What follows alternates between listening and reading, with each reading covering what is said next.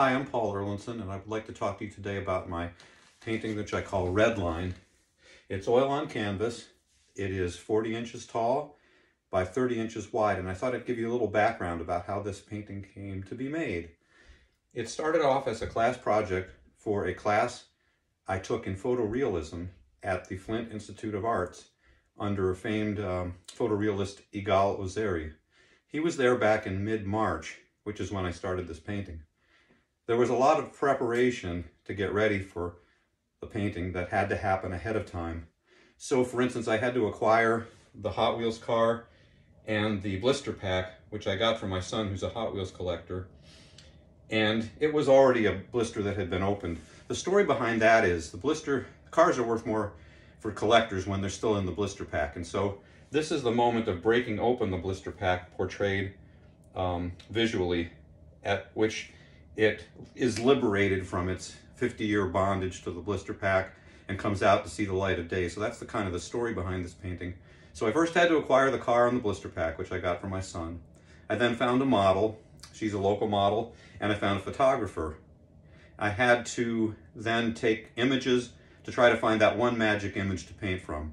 So I'll show you a series of um, photographs that were from that a photo shoot that did not make the cut and then I'll show you the final one that I did paint from. So after that happened, I took the blank canvas into Igal's class at the Flint Institute of Arts, and I projected it using a, a Optimo projector so that I could get the basics of the uh, geometry in, in the correct location. I did this with regular oil paint, and you'll see that it's not very far along. That was March 17th, 2022. Then April 10th, 2022, I had gotten this far in the painting. It's starting to get fleshed out a little bit. And so you can see that there are a, little, few more details that are painted in. And finally, here's the finished painting. So a lot of effort went into getting the Hot Wheels package correct. It's got the little unpopped um, rack hole. It's got wear around the edges from being 50 years old. It's got the tear on the letters. It's got a, a custom cord, uh, Hot Wheels Redline car that's being pulled out. It's got the cover art. And so that's really, the, the reason I chose the photo I chose is because that image of the Hot Wheels car really popped in that one particular, it was um, definitely the focus of that one uh, photo from our photo shoot.